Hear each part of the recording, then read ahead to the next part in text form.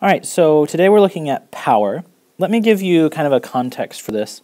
When you were working in the uh, series and parallel lab, some people mentioned that the resistor, if I draw a simple circuit here, that the resistor would heat up. They touched it and said, hey, that's hot. In fact, someone in my second period actually, like, not seriously, but burned their hand on the resistor. That's because this resistor, remember, slows down electrons. Well, think about this.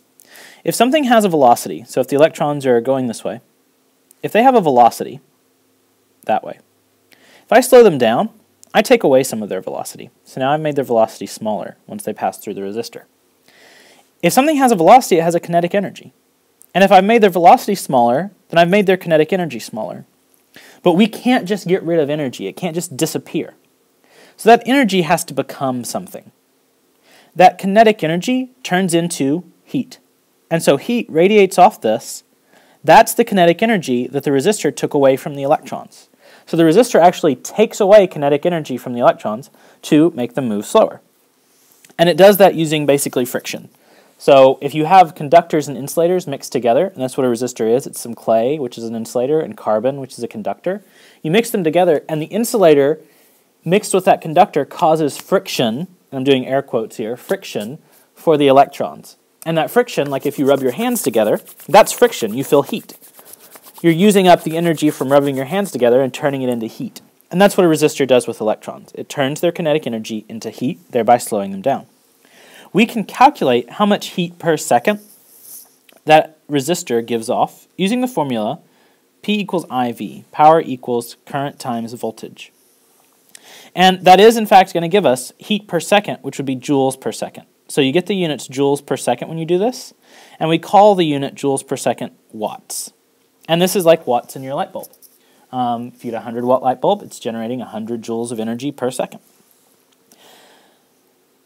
Power is the rate of work. And this relates back to when we did power equals work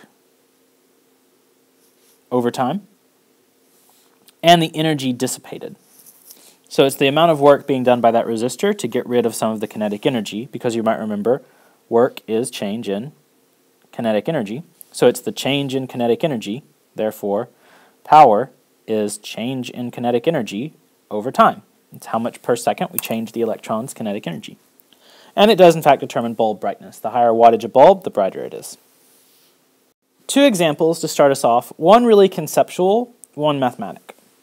First, a bulb with resistance R and another resistance 3R are connected in series. How do they compare in brightness? And by what factor is one brighter than the other? Okay, for, this first question, we're going to imagine two light bulbs connected to a power source in series. So here is light bulb number one, light bulb number two. And this one is R and 3R. And the question says, how do they compare in brightness? Okay, that means we're looking at their power, which is current times voltage. We don't know the voltage of the power source, but here's a nifty little trick that I like to use. Voltage is current times resistance meaning that this equation, if I sub in current times resistance for voltage, this equation turns into P equals I, IR, or P equals I squared R. And I actually keep this equation in my head too, along with P equals IV. I showed you the P equals IV first because that's the one on the AP formula sheet for the test, but if you memorize P equals I squared R, it can make some problems easier. Okay, this is a series circuit meaning that both of these get the same current. So the I through this one is the same I through this one. Just as many electrons will pass through both every second. So if their I's are the same, in this case, their resistance is what matters for their, for their power. And if I work through this equation down here, one of them, let's call R the red bulb, R has P equals I squared times just R, so that's the R up there. And the 3R bulb has P equals I squared times 3R. Well, this equation is clearly 3 times bigger than that one. So the 3R bulb, 3R, is 3x brighter. Now you might want, in your head might want to say, oh, so their resistance determines how bright they are. Like if one is four times more resistance, then it's four times brighter. That's only true in a series circuit. Later in this video, I'll show you what to do about a parallel circuit. But be aware that the rule is not consistent across all circuits. You do need to go through the thought process or eventually maybe in your head have the two categories series and parallel and know what happens in both. But this bigger resistance, bigger brightness only works for the series circuit. Next up, a 20 ohm resistor in parallel with a 50 ohm resistor is connected to a 4 volt potential. What is the total power dissipated? Draw a little line so we don't confuse these two problems. I am assuming I'll have enough space here. Let's hope that works out. So first I'm going to draw the circuit. And it is helpful for me when solving these problems to always draw them. A 20 ohm resistor in parallel with a 50 ohm resistor connected to a 4 volt potential. So here's our battery. It's 4 volts. And then we have one 20 ohm resistor connected in parallel to a 50 ohm resistor. What is the total power dissipated? So we need the total power through both of these. Both of the power equations I've talked about so far, we're going to need to know the current. So whether we're using this one or this one, we're going to need to know the current. So we need to figure that out. According to Ohm's law, we can figure out the current using V equals IR, and I know we can do that because we have V and we have R. We are going to need the equivalent resistance for this circuit, though. And this is parallel, so 1 over equivalent resistance equals 1 over 20 ohms plus 1 over 50 ohms. It is important that you know how to do common denominators, to do those without a calculator. Um, for quickness in this video, I'm going to grab a calculator and do them real fast. However, you may want to try to pause the video and solve that on your own, just to make sure you can find common denominators, because on multiple choice AP, you won't have a calculator. So maybe pause and try that one on your own without a calculator. I got the equivalent resistance is 14.3, and by the way, if you're trying common denominators, I would recommend 100, because 20 times 5 is 100, and 50 times 2 is 100. But I got that REQ is 14.3 ohms. And that makes sense. Remember, in a parallel circuit, your equivalent resistance must be smaller than any of the other resistors. So now let's figure out our, our current. I'm going to switch colors so these don't start to blend together. Uh, current would be, if I divide by R on both sides, V over R equals I. So my current would be 4 volts divided by 14.3 ohms. And that gives me current, which is 0.28 ohms. And I am going to need a little more room. So I've got 0.28 ohms. And now, you might be thinking, okay, so do I need to find each one separately and add them? No, because when you found equivalent resistance, whatever you find is the same as taking both of these old resistors out and replacing them with a new one that's the same resistance you found earlier, 14.3. And I just messed up my units. So hopefully, you may have noticed this already. The units for current are not ohms, they are amps. So that's my current. And here's my resistance. That resistance is the resistance in the circuit. It's the same as if we took out those other two and replaced it with a resistor that's 14.3 ohms. So we can use that in the power equation. P equals I squared R. Or we could use voltage. P equals IV. Either one will work. Because now we know the resistance, we also know the voltage, and we know the current. So we get to choose which one we want to use, and they'll both get us the same answer. I'm going to do the blue one, P equals IV, and then I want you to check to see if you do in fact get the same answer with P equals I squared R. Both equations should give you the same answer. If I do P equals IV, I get my current, 0.28 amps, my voltage, 4 volts, total power dissipated by that circuit is 1.12 watts. And when I just checked it with the calculator, I did in fact get the same thing doing I squared R. But you should confirm that for yourself, convince yourself they both work. All right, let's talk about this conceptually for a minute. Um, hopefully you can see the bulb brightness here um, on your screen, but this one down here is brighter if you can't see that. Just know that the lines are brighter on the second one there. This is a series circuit. We have a power source, have a battery here. um, connected to two light bulbs. They're both light bulbs. So if you imagine the symbols, just so you remember that. And notice which one's brighter. The one with the greater resistance in the series circuit is brighter. And we already showed that in one of the earlier problems. That's because power depends on current and voltage. They both get the same current, and the one that with the greater resistance will have the same or the greater voltage drop across it. In fact, if you did V equals IR for both of them, you would find that the bulb with the greater resistance, because they have the same current, so current's the same, greater resistance, therefore greater voltage, greater voltage, therefore greater power, because current is the same for both. Realizing people might not be able to see me writing in yellow.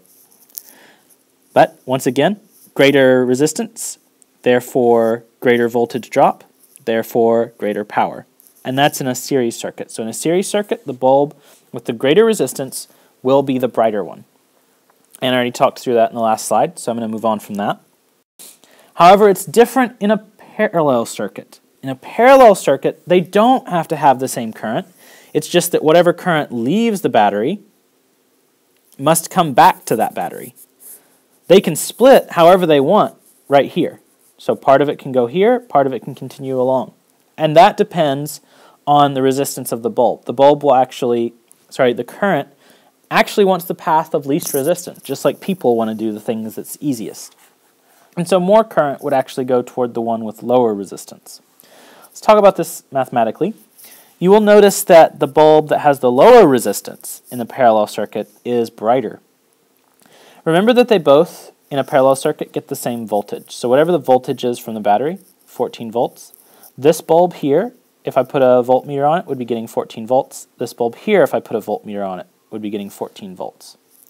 And if you think about the equation, P equals IV, if voltage is the same, then what matters is current. And I already gave you the argument that the one with the least resistance gets the most current, because everything takes the path of least resistance. So high current would mean high power. But you could also think about it in terms of Ohm's law. V equals I R. Well, we know they're both 14 volts, so voltage is the same. The one with the lower resistance, so if resistance is low, in order to keep voltage the same, current would have to be high. In fact, you should take a second and figure out what would be the current on this bulb, what would be the current on this bulb. Figure that out. Pause the video. And now you'll notice that the one with the 10 ohm resistor has the greater current. In fact, if I've done this right, this one would get I equals 1.4 amps, and this one would get 0.7 amps. And so if their voltage is the same, thinking back at the power equation, if their voltage is the same, the one with the bigger current gets more power. So in a parallel circuit, the one with the lower resistance is brighter and gets more current and therefore has more power. So a higher watt bulb, this is confusing, a higher watt bulb in your house, the 100 watt actually has a lower resistance than the 40 watt because the 100 watt needs more current to go through it in order to burn off that much energy every second. Now let's think through this with definite math. If you buy a 100 watt light bulb and a 60 watt light bulb, which has greater resistance? Well, in your house, all everything is wired in parallel. So we've got a power source somewhere.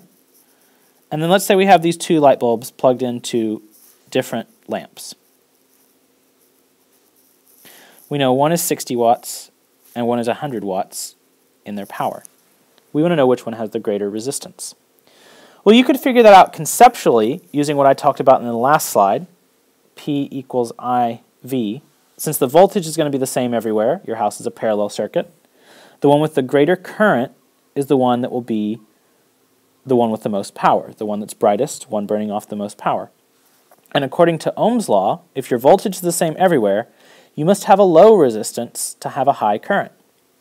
So back to power, the one with the high current has the high power, therefore the one with the high resistance has the low power, the one with the low resistance has the high power.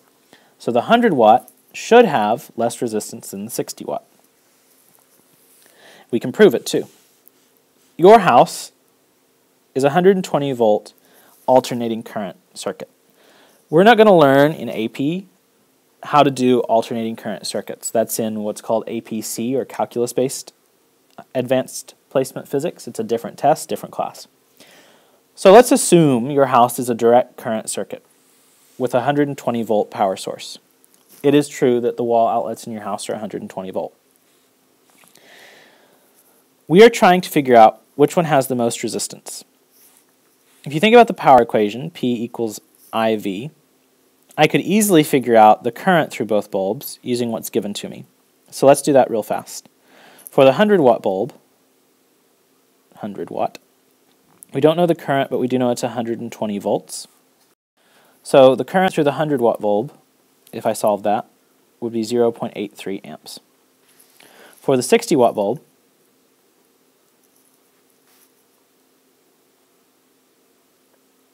20 volts. If I divide by 120, it's 0.5 amps. So the 100 watt bulb definitely has more current going through it. And now we could work backwards using Ohm's law. So now I'm going to start color coding. Let's do the 100 watt first. So the 100 watt bulb, we said had a current of 0.83 amps. Well, if I do Ohm's law, V equals IR, and we're trying to figure out resistance, I know voltage, that's 120 volts.